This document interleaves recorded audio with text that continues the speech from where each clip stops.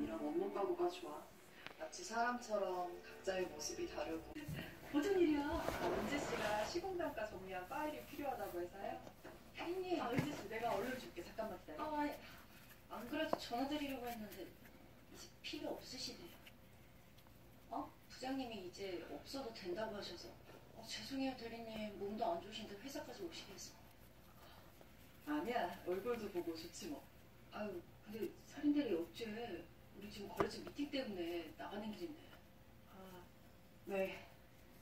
나중에 출근하시면 봬요 대리님 연락할게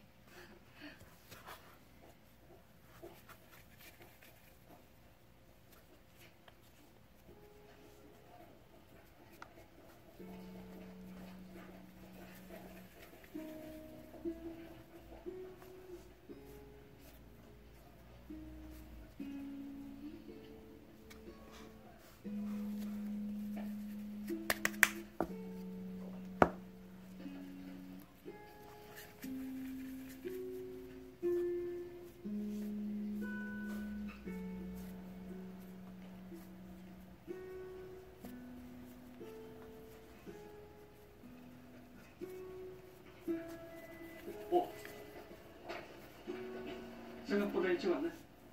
어땠어? 오랜만에 보니까 다들 반가워하지.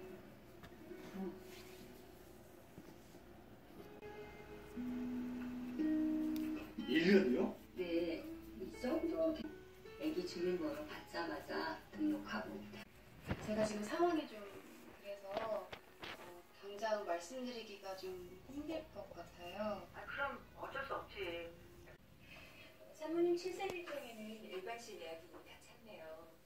VIP실은 딱 한 자리 남아있는데. 그거를 이제 아직